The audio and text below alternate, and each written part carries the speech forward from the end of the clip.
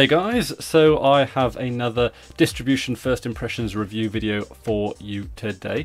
This one is a bit of a fledgling distribution, but it sort of caught my eye and I thought I'd want to share it with you today. This is Rebellin Linux. Uh, it comes from the great country of India and is based on Debian Unstable.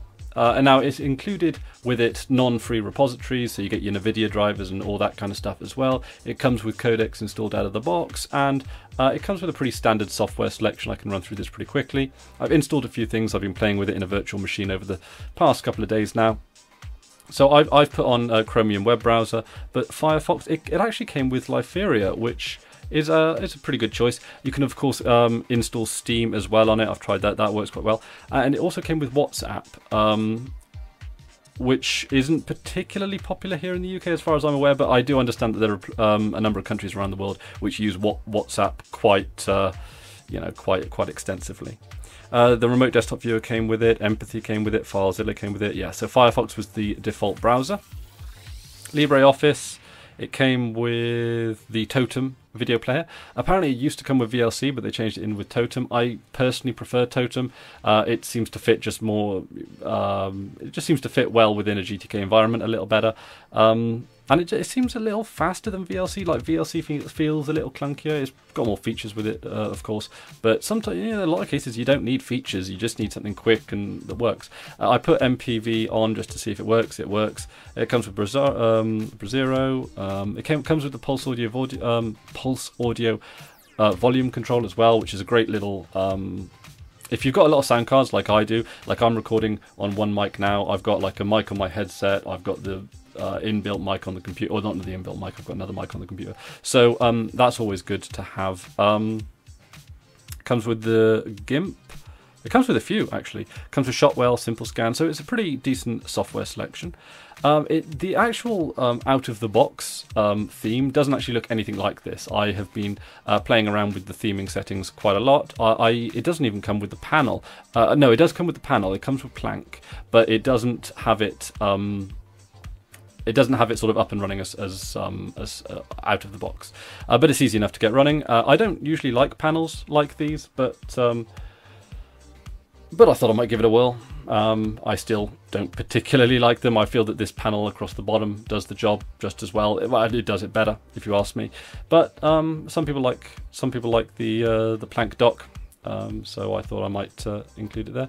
Um, and it comes, yeah, it comes with Mate, and it also comes uh, with GNOME. It comes in 32-bit and 64-bit, and they do actually say that if you go to the download page here, they do actually say that um, I don't, does it say here? No, I think it might say in the FAQs that for in a lot of cases it's worth going with the 32-bit.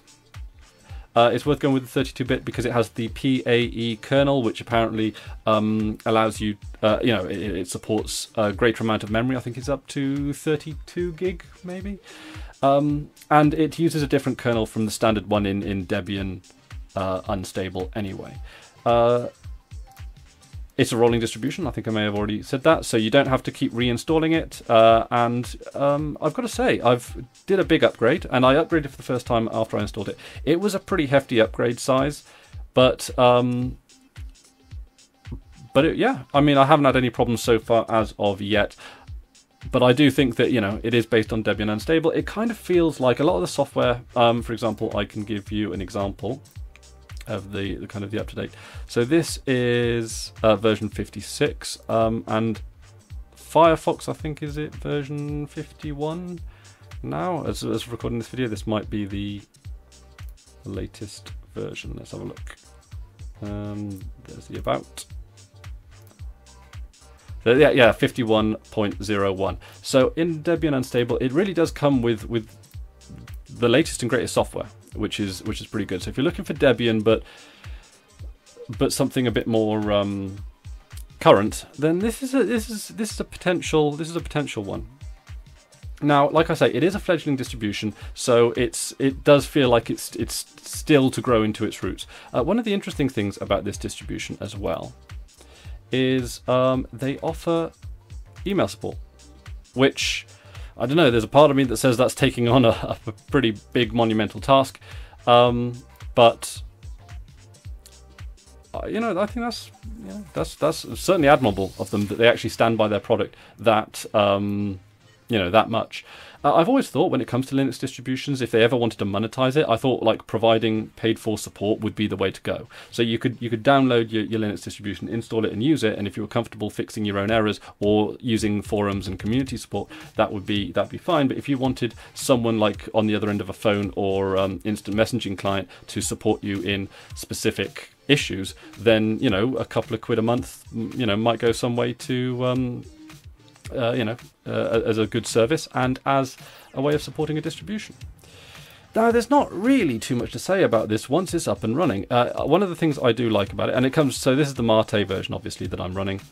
Uh, I do like Mate. It doesn't come with the Mate tweak tool, but it's as easy as, as installing it. Uh, I've got a custom theme here, which is um, the dark uh, Adwaita theme, but with the Greybird window borders, and I think it looks pretty slick. Um, the default one is comes with Greybird pre-installed. All of these have come pre-installed.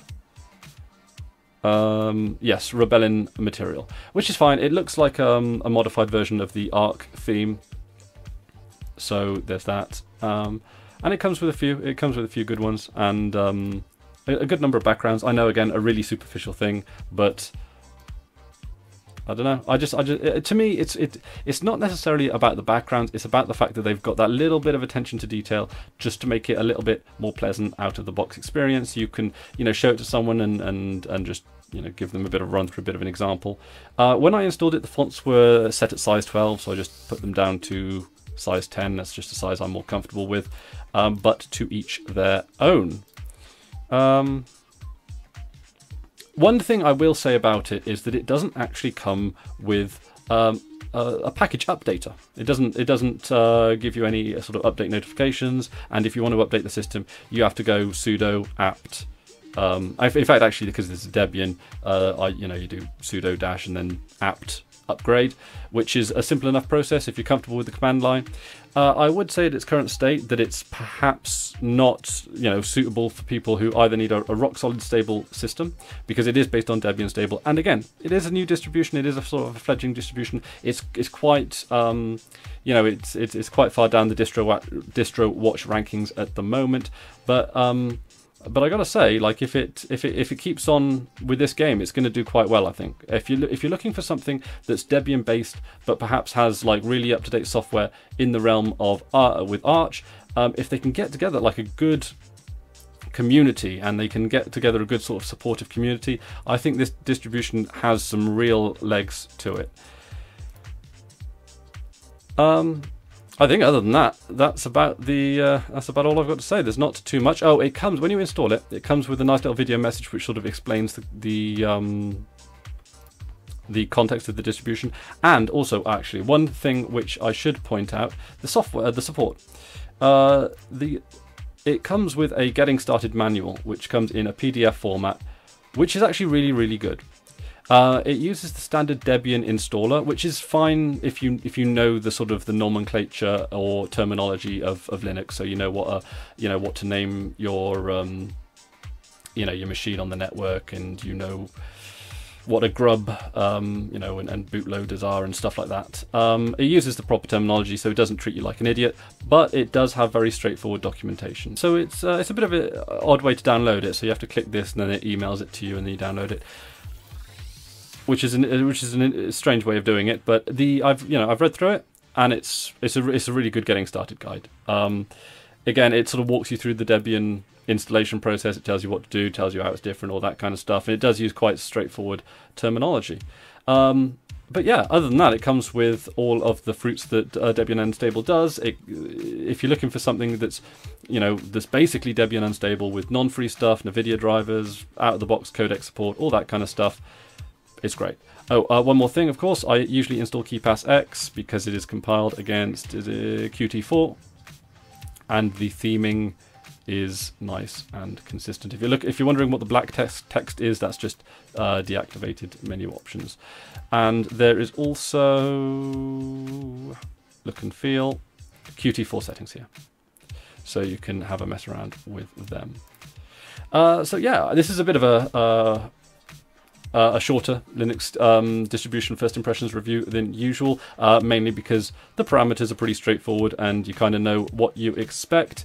Um, someone did um, email into the Linux Action Show a couple of weeks ago, and they did suggest that if you are running a rolling distribution, to use a file system and take daily snapshots of it, or take snapshots of it before you upgrade, and then upgrade. And if the upgrade goes wrong, then uh, then you can just simply roll back. So the Synaptic Package Manager is pretty much the the expected way to install stuff through the GUI, and of course you can uh, install software through the command line as well.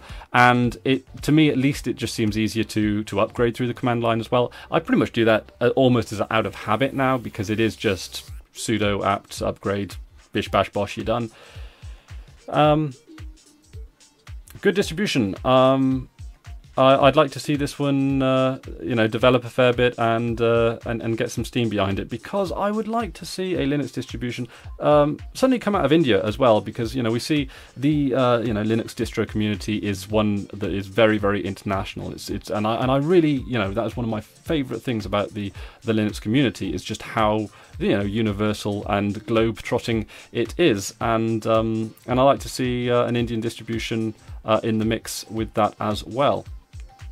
Uh, I also would like to see uh, a, uh, you know a strong distribution based on Debian unstable with a good um, amount of community support behind it. It could be the you know it could be sort of like Arch but on Debian. You know that that is something that a lot of people I feel would have a degree of enthusiasm behind. So, like I say, I really hope this distribution takes off. I hope that uh, you know I, I feel that it's got legs and uh, it's certainly worth checking out in a virtual machine um, or possibly on like a secondary machine if you just want a quick and easy way of getting um, a Debian unstable um, installation up and running. So that's about it for me today. Thank you very much for watching, and uh, until next time, I've been Chris Were, and you've been awesome. Take care now.